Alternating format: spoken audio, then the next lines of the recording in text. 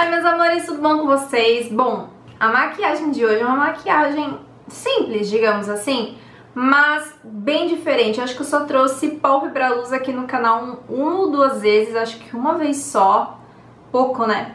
E hoje eu trago, assim, uma sugestão de pálpebra luz opaca, né? Que normalmente a gente vê aquela maquiagem de pálpebra luz com um brilho no centro e tal. E a sugestão que eu trago hoje é ela completamente opaca, sem glitter, sem nenhum tipo de brilho. Então deixo o olho bem aberto, fica um olhão grandão, um pouco mais levantado, já que eu não fiz delineado gatinho.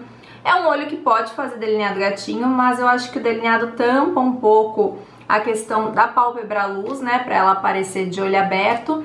Então eu acho que fica mais bonito sem o delineado por conta do efeito, para dar o efeito com o olho aberto. Então é isso, se vocês gostarem, não esqueça de dar aquele joinha, aquele gostei pra mim. Qualquer dúvida, só deixar aqui nos comentários que eu respondo vocês. Se você ainda não é inscrito no canal, tá vendo esse vídeo pela primeira vez e gostou, não esquece de se inscrever, tá bom? E todos os produtos utilizados, tudo que você precisa saber está aqui abaixo no box de informações. É só clicar em mostrar mais, tem tudo mesmo, tudo mastigadinho, bonitinho pra vocês. E também vai estar o link do blog pra quem quiser ver fotos dessa make aí mais de perto. Bom, então vamos lá acompanhar o passo a passo de hoje. Bom, gente, então eu vou começar utilizando uma sombra pêssego, um laranjinha bem claro, bem suave, para fazer a marcação externa do meu olho. Eu tô usando o pincel da Dye Makeup, que é o 140. Eu recebi da loja Loli Makes e estou experimentando e testando para vocês, para dar o meu veredicto final. Então, eu vou marcar o meu canto externo e o interno também. Então, vendo? Ó, eu estou fazendo movimentos de bolinha para não ficar uma coisa muito pesada, simplesmente para a gente adicionar cor nessas duas regiões certo? Então eu vou deixar essa região central do olho propositalmente sem nada. Vou levar só o restinho do pincel para a parte superior dos olhos. Depois eu vou começar a dar um pouco mais de profundidade, então eu escolhi um marrom um pouco mais quentinho também para a gente ficar nessa pegada de maquiagem. Diminuir o tamanho do pincel, esse é o 217 da MAC. Então, quanto mais detalhe você quiser, menor o tamanho do pincel. Não vou subir tanto essa sombra, então vou aplicar ela com um pincel menor e vou esfumando com o pincel da sombra anterior, que ele é um pouquinho maior, para ficar um pouco mais suave e a gente adicionar essa intensidade, essa profundidade aos poucos.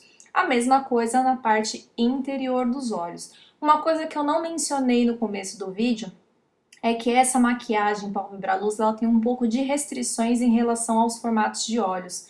Quem tem o olho junto, é, evite esse tipo de maquiagem, pois escurecer o canto interno evidencia essa questão do olho ser junto, tá? Então evite se você tem olho junto. Então depois de fazer toda essa intensidade, essa profundidade, vou dar aquela esfumadinha, só o restantezinho pegando um pouquinho ali na pálpebra fixa lá em cima, só para dar uma corzinha e não ficar maquiagem as cores só na pálpebra móvel. Depois vou pegar essa sombra que é a Cassandra. Essa paleta é da Bruna Tavares, da Pausa para Feminices, é a paleta Diva, se eu não me engano. E essa é uma cor vinho. Uh, eu tô usando cores um pouco mais coloridas, digamos assim, fazendo um olho um pouco mais colorido, porque vocês têm me pedindo umas maquiagens mais coloridas. Mas não deixa de ser uma maquiagem bonita para se usar no outono e inverno. São tons coloridos, mas ainda um pouco mais sóbrios. Então, vou continuar adicionando profundidade, cor, canto externo, canto interno, esfumando com, a, com o pincel da anterior para ficar tudo muito suave, sem linhas é, é, grossas, né? Sem aquela coisa muito marcada, até chegar nesse ponto. A gente vai adicionando essa profundidade aos poucos para chegar nesse ponto de estar profundo, mas suave ao mesmo tempo. Eu vou pegar aquela sombra pêssegozinha, fofinha, vou misturar com uma amareladinha, mas a intensidade vai ser da pêssego. Eu coloquei um pouquinho de uma amareladinha para ficar um pouco mais clara, para não ficar tão sutil. Mas a que vai aparecer, o tom que aparece é o da pêssego, tá? E vou começar com um pincel menor, aplicar essa sombra na parte central e eu vou arrastar uma sombra em cima da outra, voltando com o pincel da Bordeaux, depois eu vou com o pincel da que eu apliquei a mais clarinha e arrastando uma sombra em cima da outra, fazendo a transição de cores até ficar super suave. Já vou aplicar a máscara de cílios. Estou apaixonada por essa da Benefit, que é a Bad Gal. Eu comprei para uso pessoal mesmo e eu gostei muito dela. Ela deixa ela longa, que é uma maravilha, e ela é o cão para tirar, gente. Ela realmente é a prova d'água. Os cílios que eu estou usando hoje é da Dye Makeup, que é o 415. Fica super lindo. E a cola que eu estou usando é da Cherry Blossom, é essa Select Lash, que ela é a prova d'água e, seca e secagem rápida. Depois disso, coloquei os cílios, tudo bonito. Vou passar um pouco de lápis preto na minha linha d'água superior para ficar mais pretinha essa parte de cima. Eu dei um pouquinho de acabamento com delineador na raiz dos cílios, só para não ficar uma coisa meio inacabada, sabe? Porque eu não consigo, a pessoa tem toque com acabamento. E na parte inferior a gente vai fazer todo o processo que a gente fez em cima, com pincéis menores, obviamente, porque é uma região menor. Então eu vou pegar a sombra pêssego, vou lá, vou colocar, esfumar, vou pegar a marronzinha, né? A, sombra, a paleta que eu usei é a T05 da Atelier Paris, mas pode ser qualquer sombra laranjinha, pêssego e marrom quentinho que você tiver em casa, tá, gente? Não precisa ser os mesmos, os mesmos produtos. Vou fazer a mesma coisa e com um pincel chanfrado eu vou aplicar a sombra Cassandra da Bruna Tavares, que é a vinho, para deixar essa região bem escura mesmo, para ficar bem sinistra essa parte de baixo. E depois vou aplicar a sombrinha clara na parte do meio, é o mesmo processo da parte superior, tá? Mas se você não quiser fazer pálpebra luz embaixo também, é só fazer em cima e dar uma corzinha ali na parte inferior que tá tudo certo, assim não fica tão pesado. Na linha d'água eu vou passar um pouco de lápis bege, mas eu vou concentrar ele mais na parte do meio para evidenciar a parte clara da sombra.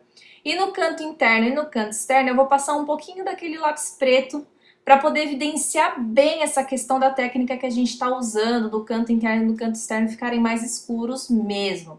E vou finalizar com o, a máscara de cílios na parte inferior, caprichando bem para ficar bem bonito. Contorno, eu usei o Laguna, que fazia muito tempo, esse meu duo tem já, um, já é meio velhinho, e eu gosto muito do Laguna porque ele faz um contorno bonito, não fica exagerado, ele tem um tom de marrom um pouco mais quente. Eu acho que fica super natural, sabe? Como o olho tava um pouco pesado, eu quis fazer um contorno um pouco mais natural mesmo. O blush, eu tô usando esse blush mais rosinha, mais bonitinho, fofinho. Esse é o Blush Baby, da MAC. Só pra dar uma corzinha sutil, suave para as maçãs do rosto. Nada carregado, nada exagerado. E o iluminador que eu estou usando hoje é o iluminador marmorizado da Natura Aquarela. Ele esfarela um pouco, mas ele é super lindo. Ele é um iluminador um pouco mais sutil, mas ele não deixa de ser bonito, tá, gente? Ele só esfarela um pouco. Mas ele é lindo, deixa um acabamento maravilhoso e ilumina que é uma maravilha. Nos lábios eu optei por um batom bem neutro, porque o olho tá bem pesado, tá bem é, evidenciado esse olho, né? Então eu usei um batom bem bobinho, bem clarinho, dei batidinhas para ficar uma coisa bem bem suave nos lábios. A proposta era essa hoje, mas quem, quem quiser pode trocar o batom e usar uma cor um pouco mais forte nos lábios para quem tem essa preferência. E esse é o resultado final, gente. Olha que lindo que fica. A pessoa fica com um olhão Fica lindo. E esse olho, assim, essa maquiagem, essa técnica também é bacana para quem tem aqueles olhos fundos, tipo da Juliana Paz. Porque assim evidencia a sua pálpebra móvel na profundidade do côncavo. Fica super bacana, tá? Fica a dica. Tá certo, meus amores? Ó, então, ó. Hum, beijo pra vocês. Fiquem com Deus.